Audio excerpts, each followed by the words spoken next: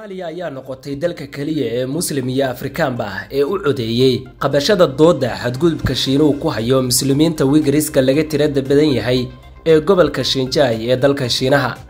Qaraarkan oo la soo hordhigay inay u codeeyaan afartan iyo toddobada xubnood ee golaha xuquuq aadanaha qaramada midoobay ayaa toddobiyo toban ka mid a waxay taageereen in sanadka dambe dood laga yeesho. Halka sagaal iyo toban dalna ay ka hor yimaadeen waxaana qaraarkan ka aamusay kow iyo toban xubnood koorintii aan codaynta la bilaabin qaar ka mid a dalalka xubnaha ka ah golahan ayaa si adag u soo bandhigay mowqifkooda ku aadan qaraarkan qabyada ah iyo muhiimadda uu leeyahay in golahu taageero. Maraykanka faransiiska iyo jarmalka ayaa ka mid a toban dal oo reer galbeed ah oo dabada ka riixayay qaraarkan. Balse shiinaha ayaa cadaadi saaray ilaa saddex iyo toban dal oo afrikaan ah taasi oo faa'iido u noqotay ama horseetay inaan la meel marin qaraarkan. Siddeed dal ayaa ka hor yimid qaraarka halka afar dalna ay ka aamuseen. Soomaaliya ayaa noqotay dalka keliya ee ku yaalla afrika kana tirsan ururka midowda islaamka ee qaraarkan taageeray. Arrinta kale xusida mudan ayaa ah afar dowladood oo muslimiin ah ay ka hor yimaadeen qaraarkan kuwa oo kale imaaraadka carabta qatar suudaan iyo bakistaan halka dowlado kale oo muslimiin ahina ay ka aamuseen.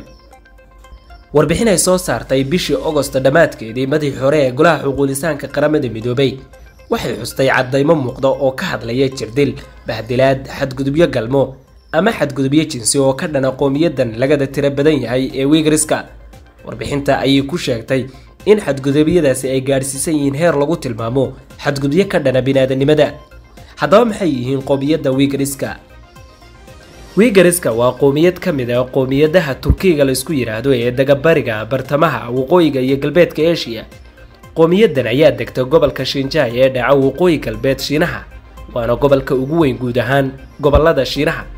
Gobolkaasi oo iyagu u yaqaaneen turkinistaanta bari. Qowmiyadan ayaa tir ahaan gaadhaysa ilaa labiyo toban milyan oo qof oo dhammaantood muslimiin ah. Calanka muslimiinta wigarisku waa calanka dalka turkiga oo leh midabka soomaaliya. Wigariska ayaa la nool cadaadis tacadiyo dhibaatayn iyo isirsifayn ka dhana dadkooda iyo diintooda sababtoo ah waa qowmiyadda qudha ee muslimiin ee ku nool ama degan dalkaasi ee deegaan dhammaystiran leh. Gobolkooduna waa mid qani ku ah khayraadka kala duwan oo ugu horreeyo shidaalku. Sababtaas ayaana shiinuhu ugu arkaa gobolkaasi mid muhiimad weyn u leh. Dowladda shiinaha ayaa u aragta bulshadan kuwa diintoodu caqabad ku tahay nidaamka shiinaha.